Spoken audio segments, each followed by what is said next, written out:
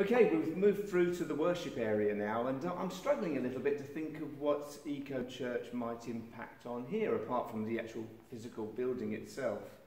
Um, yeah, can you help me with that, Hannah?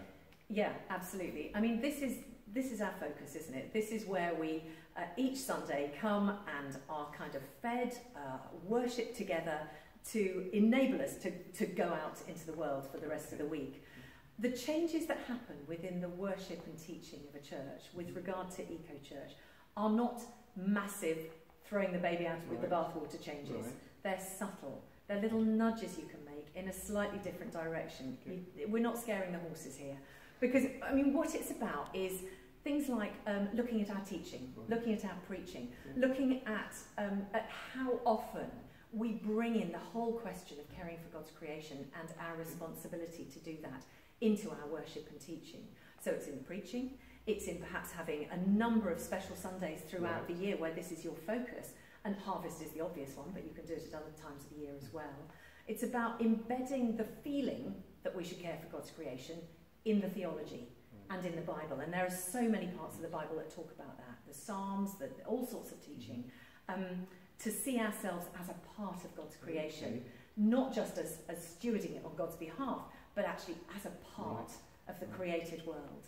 Um, in your prayer, you know, in our church, it's become the case over four years that every time someone does the intercessions, God's creation, caring for it, the difficulties that we are in, are part of that prayer, part of that intercession.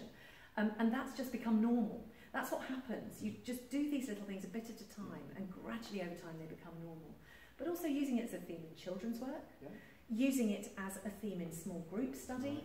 Um, you know, there are all sorts of courses out there that, that, again, kind of embed all this in theology, which are really good to, to discuss together. And the really important thing is that it is a whole church commitment. Right. Yeah. And so in this part of the survey, the worship and teaching, that is what is discussed as well.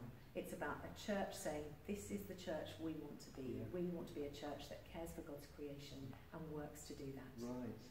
that, that's fascinating. So it, it really is at the heart of our Christian lives as a Christian community. Absolutely, discipleship, yes. That's, that's, thank you ever so much for, for sharing that and, and thank you for everything you've shared, Hannah. That's really, really helpful. It's an absolute pleasure. There's no downside as far as I'm concerned to Weekend Church. Yes, great, thank you.